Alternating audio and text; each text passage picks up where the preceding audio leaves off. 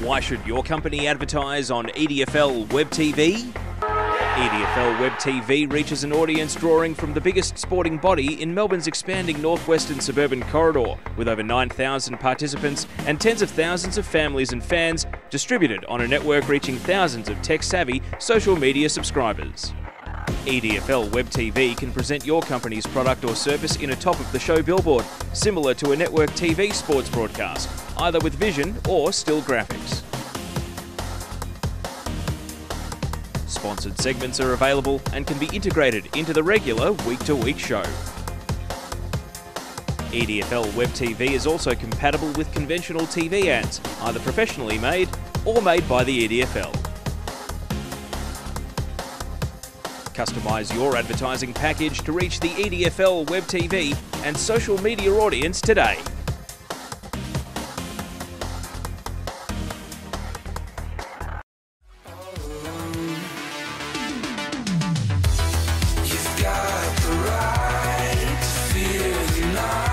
Hi, I'm Claire Varley, and welcome back to the home of EDFL Web TV, the Pascoe Vale Hotel. This season, we'll be coming to you weekly right here on the EDFL YouTube channel, so make sure to subscribe to keep up to date with all our videos. It's been another action packed week in the EDFL, so let's jump straight into this week's top talking points. Hi, this week we're at Essendon Doutta Stars and we're here with an ex Doutta Stars junior who recently competed for Vic Metro at the National Youth Girls Championships. Welcome, Monique Conti. Thanks, Claire. So, what made you want to start playing football? Well, when I was younger, my brother always played football, so that got me into wanting to play. And I started when I was about 11 years old for the Doutta Stars junior team.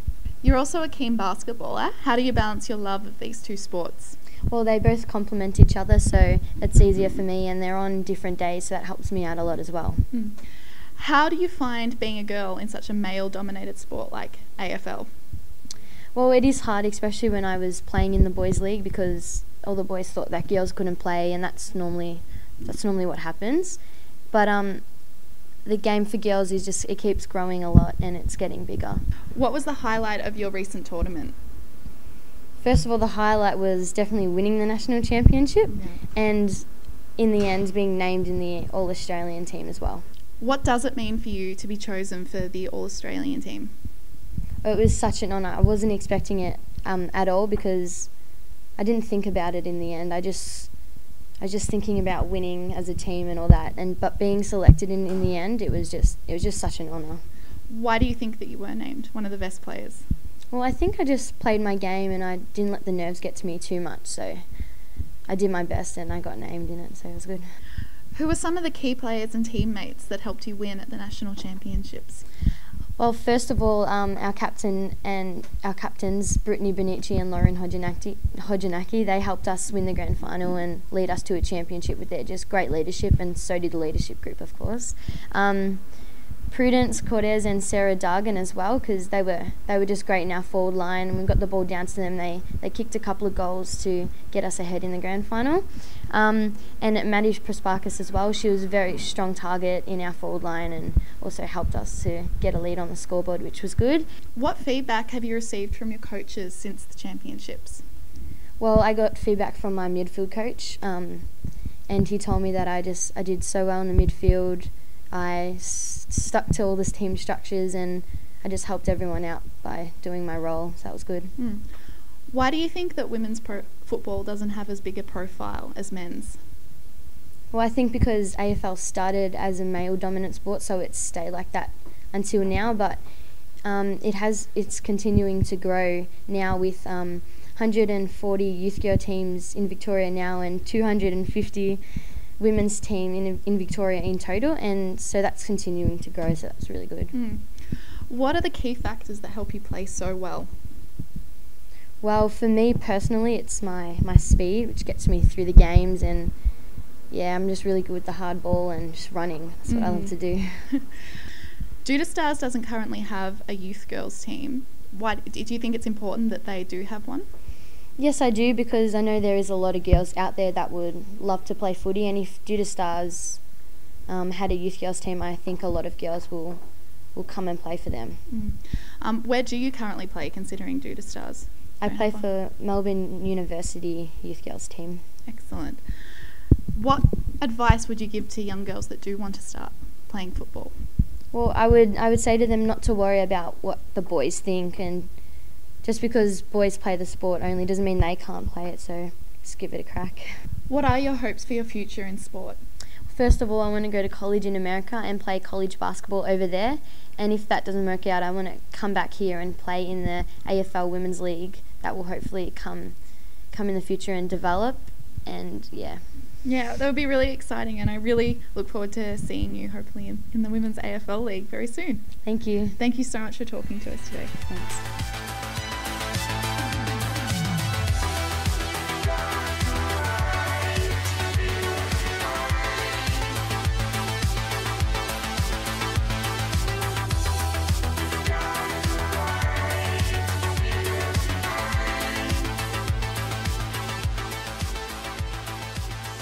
How are you feeling in the countdown to your first game? Uh, yeah, I'm not, not feeling too bad. I've uh, obviously I'm getting on in, in years. I've, uh, that's when I come back to Douttas, there's been sort of no expectation of you know when I when I'd return or, or if I'd even return. Um, interrupted pre-season, you know, just coming back from an Achilles injury. It, it's been it's been quite difficult, but I'm almost there. What have you gone through in the last 18 months since you last played? Rehab, injuries, re-injuries. What has actually been your story? Uh, basically, uh, I left the club uh, six years or so ago, chasing chasing a flag. Uh, didn't eventuate. Went out to the Western region. Uh, had had a bad Achilles injury. Tried to play through it. Uh, didn't work out, and uh, yeah, basically, sort of haven't played footy for the last 18 months. How much did you miss the game when you were out? Like, has it given you an appreciation for, for how good it is to still be able to play? Uh, oh, I don't know whether I can still play to tell the truth, but uh, I was yeah I was pretty hurt, so I wasn't sort of missing it too much. Uh, got a phone call from Dean Wallace in the at the start of the year saying, you know, he was, he was going to take on the job, and obviously I, I still followed Douttas a bit, so you know, seeing their progression and saw that they went to B grade, and you know, thought I could help out. Does that carry a bit of pressure though to hear some of the fans and some of the opposition players and fans talk about Kade Carey like he's he's coming back, and you know some people are trembling at the thought of actually having to go and man you up again? No, no. Look, there's there's no pressure. Like like I said, um, I'm just purely back to, to lend a hand with the team, and uh, you know I'm definitely not going to reach the heights I, I did sort of six or so years ago. But um, any contribute any, any contribution would be good. Yeah. What would team success mean to you this year? Oh, def- definitely the flag. You know, um, aren't a they're not a B grade club. Um, it's a very very tight competition this year. Uh, I think we've got the, the group to go the, the full distance, but uh, anything anything other than, than a flag is sort of unacceptable as far as I'm concerned. And so we move on to the discussion panel of this week's episode. We are bringing back the podcast this week. Click through to the EDFL YouTube channel to hear us talk in depth. But uh, right now, I've got Adam Russell from EDFL Radio joining me to go through some of the headline issues. Adam, great to have you on Web TV. Thanks for having me, Teo. So, uh, what have you got for me? We'll start in Essendon Forward at Division One. Some of the headlines of the week. Well, Teo, you were out at Hillside and there was the issue of the quiet siren. Can you tell us a bit more about that? Yeah, the uh, end of the Hillside versus Glenroy game. A Hillside in front comfortably in the last quarter, only for Glenroy to roar back with four goals in time on, and they nearly had a fifth. The ball was marked at the top of the goal square by Jaden Borg. He thought he was lining up for the match winning goal. However, there were celebrating Hillside fans running onto the field, and all of a sudden the players realised that the siren may have gone with the ball in the air. Adam, I've got to give credit to the majority female umpiring crew. Of course, it was the uh, Women in Football round raising money for the Cancer Council of Australia. They were all wearing the pink uniforms. They came together, had a conference, and said, Yes, one of us did hear the siren. The ball was in the air. The mark doesn't count. And you can watch it for yourself. Uh, if you click through to the EDFL YouTube channel, it was an amazing finish, and uh, really the the ball must have uh, been a split second decision. So thankfully the umpires got it right at the end of a very difficult game. Uh, what's uh, what's the next talking point in Division One? Well, Glenroy, they're still winless. Do they face relegation now, do you think?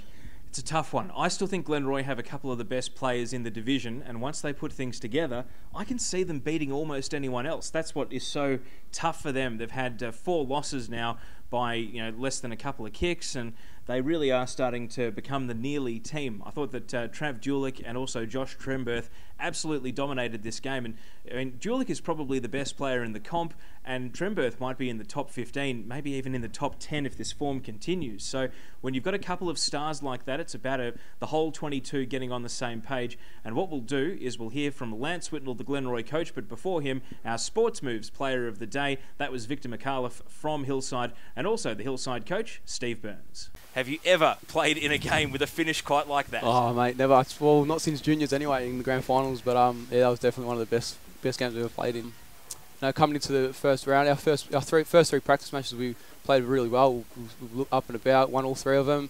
Um, yeah, and then it was just came out first round, got smacked, and then yeah, just Oh, very surprised. Very surprised. And where were you when the siren went? Like, were you in the back 50 trying to defend? Were you further up the ground? Like, yeah, I was just on the 50 here in, did, the, in the, back. Yeah. Did, did you get in and, and, get a word in the umpire's ear? Did you know that the siren had definitely gone before the mark, or did you oh, even I had hear no it? Clue. I had no clue. I've coached in a lot of games that have gone down to the wire, but um, nothing like that. I just felt for the players so much. I was. Uh, just hoping and hanging on uh, that the umpires were going to do the right thing and pay the right decision. But uh, yeah, it was uh, it was just a great win for the boys. They're such a young group. Um, I think our midfield today was two 18 year olds, two 19 year olds, and a 20 year old. So, um, you know, you've got five kids under 20 taking on the might of Glenroy and the quality players they've got going through there. It was just a great performance by our kids. With the draw we had, yeah, I, I, I think everyone got excited because we recruited Stocko Rocky and Ross Waitman. But Rocky's played seven minutes before today, and he still wasn't right today.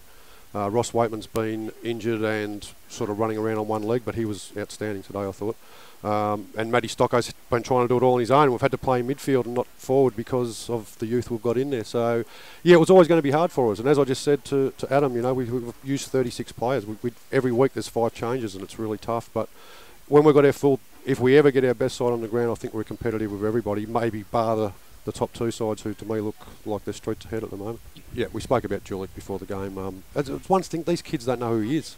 That's the thing, you know, and it's really hard until they play him to actually see what he does. But I thought Monkey, who's normally a ruckman, number 37, Shannon Ball, played pretty well on him at centre half forward, you know, and I don't, don't think Trav had that much of an influence on the game as a centre half back. I think he looked really dangerous when he went forward, but I was just hoping he wasn't going to play on ball because if he had to play on ball, we were going to struggle to match up on him. So you, you were obviously beneath the siren. You, you heard the siren yeah. quite quite clearly. Yeah, and I was definitely. He didn't mark it beforehand. Yeah. Yeah, yeah. yeah. We, would, would you have if they if the umpires had let him take the kick? Would you have done something to try and not let the kick be taken, or would you have just let it happen? Oh, you can't. I know, I know we're dealing in hypotheticals, but what can you do? I can't run out into the ground and go, I know what happened here, but I don't know what we might have put in a review do the afterwards. Timekeepers have a say in that sort of? Uh, not sure what the timekeepers. I, I don't know if they can, uh, if their voices would have been heard with 44 players surrounding the umpires. Yeah, yeah. yeah. yeah. but it's uh, once they, the umpires put their hands up, it was a massive relief. Did you even hear the siren on the outer side of the ground? No, didn't hear it at all. I can tell you, we didn't hear it from here. And you're right next to it. We're right next to it, so. No, uh, I, I, mean, I so the cameraman I heard heard it. Adam, who was outside the box, heard it. We inside the box didn't. But how tough was that for you when you saw the Hillside players celebrating and knowing that you wouldn't be lining up for potentially the match-winning goal? Uh, very tough. I looked at the umpire, and umpire had paid the mark, so I was thinking, yep, no, they're going to complain and complain. The umpire's going to go back and say, yep, I've paid the mark. I didn't hear the siren. Um, unfortunately, don't know what happened, but didn't get paid the mark. So uh, yeah, we just got to move on and deal with it. Um, there's a lot of things that was, you know, we had a chances to win. We just didn't do it again. Yeah, it seemed to be most late in quarters we were the ones charging, and I knew we had another go in us. We, our, our midfield rotation came off, and they'd gone back on ready fresh for the last six minutes. So I knew we'd have a, a crack at them, and um, I knew that they had a few players that hadn't been playing for a couple of weeks. So I thought they'd um, run out of legs, and they did, but we just didn't have enough to get over the top of them. We just touched on inside. We're not starting as well as we should be. Um, it's taking us fair way into the quarters to sort of get into the to the gears and sort of what we're supposed to be doing and our structures and so forth. And yeah, we're just definitely not starting games and starting quarters well. Other sides are, and it's we're playing catch-up footy right from the start. And we've got to do something about that. And uh, if we can sort of do that early in the games and quarters, we probably can run over sides because we've got a good young side that just continues to run hard and when the chips down, they keep pushing, but we're just giving away too much at the moment. You can imagine the questions will start coming in about, about the R word, about the drop.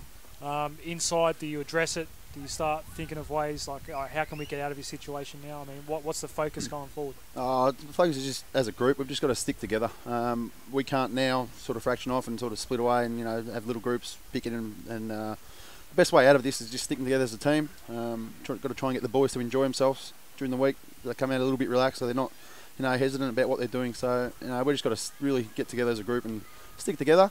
Um, our results are showing that we we're good enough, but we're just not quite to, to haven't got the uh, kill instinct at the moment. So we just got to keep chipping away and um, working hard, and we'll get out of this hole. We're a close group down in Glenroy, uh, from committee down down to the players, and um, everyone's just supporting each other. What you know we have to do is just a whole group, the whole club has to just work harder. Uh, it's not up to me to work harder, just on my own. It's up, not up to the players to work harder. Up to the committee as well. I mean, we're pretty close. We're pretty, pretty, good group down there that just wants to succeed. So we'll, you know, we'll head down, bum up, and you know, I know I've got full support from them. So we'll just work harder and as a group together. So that was Lance Whitnall there, the Glenroy coach. And for those interviews in full, click through to the EDFL podcast this week. We'll have those interviews there along with an in depth discussion of the game. Adam, uh, Division 1, uh, well, all the other issues we'll discuss on the podcast. How about some of the headlines in Strathmore Community Bank Premier Division this week? Well, it's Avondale Heights. They're flying again with the likes of Galea, Rose, and their small forwards all firing. Where do you think they go next? Well, it's a big question. Uh, a great win against Strathmore, and to win by an arm's length margin as well, that would suggest that Avondale Heights, maybe I was a little bit hasty to say that at Zip and 4, they weren't going to make finals this year. They left themselves, admittedly, in a huge hole. They hadn't played very well in those first four games, but uh, to beat Strathmore by that sort of a margin, it suggests that maybe with their backs to the wall at the last possible opportunity, they're starting to produce some of their best footy. I'm not, I'm not in on them just yet. At 2 and 4, there's very little margin for error, but uh, I did pick them to make the top four at the start of the season, and maybe now we're starting to see some of that quality shine through. Sure. Now Strathmore, there are reigning premiers in the uh, premiers in the Premier Division. What's going wrong down there? It's a tough one because uh, initially I thought it might have been they got the balance of youngsters versus senior players wrong, but I look at the uh, the best and the goal kickers this week, and I see there that uh, you know Kennedy's kicked three goals. He was dominating in the reserves. He played under 18s last season, but he'd kicked something like uh, 20 odd goals through the first month of the reserves, and they've given him a senior game, and he's kicked three goals. And also Carigliano, who played at TAC Cup, he's back and playing senior footy at Strathmore, and he was in the best players. So it's hard to get a, a handle on what's going wrong out at Strathmore at the moment. Uh, they're under pressure themselves, though. They wouldn't want to drop too many more because we saw it last year with Greenvale missing the top four. The last thing that they would want as the defending Premier is not even to make it back to September to have a crack at defending their crown.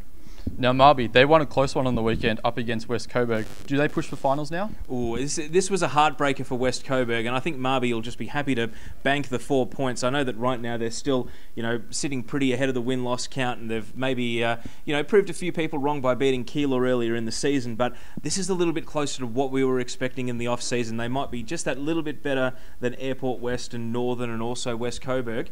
But uh, they really had to pull this one out of the fire, coming from a long way down. And for all the other talking points in Premier Division, make sure you click through and listen to the podcast. We'll go through them in full. I want to get on to Strathmore Community Bank Division 2 because this division continues to throw up interesting storylines every week. Yes, definitely. Keilor Park, they're in a little bit of the doghouse at the moment. They've lost to Burnside Heights in Burnside Heights' first win against an established club. Yeah, what a result. Uh, and I've been coughing it on the EDFL Facebook page. I think just about everyone from Burnside Heights has jumped on and uh, said, You wrote us off last week. And you know what, Burnside, I apologise. Didn't give you enough credit. And Keilor Park are in the doghouse at the moment. I, I just think that Louis Opedasano, their coach, thrust into the job late in pre-season, really on a hiding to nothing. He has such a good attitude and he's got so much positivity, but the rest of the club has got to come with him. It's sort of like the Jerry Maguire, help me, help you. You know, that's what they need right now, and I think that they need more hands on the pump out at Keilor Park. No one wanted to be that first team to lose to an, uh, one of the uh, the expansion sides. Yeah. They've become the first. It, it, wasn't a good result for Keilor Park, and they're winless now and clear last on the table. But Burnside Heights got to give them the credit. They had a really good spread of goal kickers, and after they lost quite heavily to East Sunbury, I was wondering, you know, where that breakthrough win would come from and if they were any closer to it. Well, uh, Tahan Rahifi and also the, the Burnside Heights team, they've uh, proven uh, me wrong so far, and I just wonder what they might have in the pipeline. What else was making uh, news in Division 2? Coburg Districts, they had an overpowering win over Jacana. Yeah, look, they did, and I actually had a, a, couple of eyes on this game SMSing me during the course of the match saying that Jacana were really on top in the third quarter, and I thought, oh, okay, that's interesting. And then the quarter, three quarter time score came through on my phone, and Coburg Districts had kicked away. So the the uh, the report was that apparently Jacana had a lot of possession but didn't know how to use it, turned the ball over a lot by foot, and Coburg districts just keep getting better and better. We were wondering where they were at. They'd put in a, a few poor performances in the first uh, month or so of the season, but they're starting to click now. Adam and I both picked them for the uh, the premiership in the preseason videos, and we're just starting to get a bit of a look now at their best footy. So a bit of a setback for Jacana, but uh, I'm sure they won't be too worried. Uh, Adam Russell, thanks for joining me on uh, EDFL Web TV. You'll be joining us for the preview as well. Yep. Uh, before you go, I want to ask you. What did you make of uh, the match that you were at at the weekend? Of course, it was the uh, Strathmore Community Bank showdown between Pascoe Vale and Greenvale. Some of your takeaways from watching that one in person. Well, Pascoe Vale, they really stood up in their first challenge of the season up against a very strong Greenvale side. Uh, leading goal kicker in the division, Ben Warren, he continued with his strong form, kicking four goals, and overall it was just a very strong win by Pascoe Vale. Well, uh, certainly uh, there'll be more to talk about uh, in the preview video ahead of the unbeaten clash between Aberfeldy and Pascoe Vale this weekend. Click through to listen to the podcast. We'll go through all the issues in a bit more detail as part of EDFL Web TV this week. But from Essendon Doutta Stars training, that's it from Adam Russell and myself, Teo Pellizzeri. That's it for this edition of EDFL Web TV. Make sure to subscribe to this channel to get all our updates as soon as they go online. I'm Claire Varley, and we'll see you back here at the Pascoe Vale Hotel soon.